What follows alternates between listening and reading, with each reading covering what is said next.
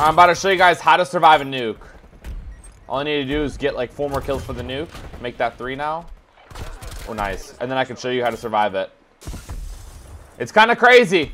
I literally just learned this myself. One more kill for the nuke. All right, cool. We got our nuke.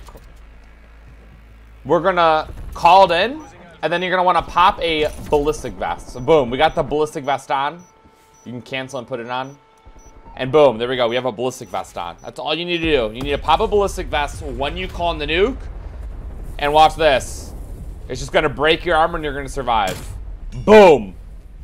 We just survived a nuke in Cold War. Unfortunately, though, it only works in hardcore, which does suck.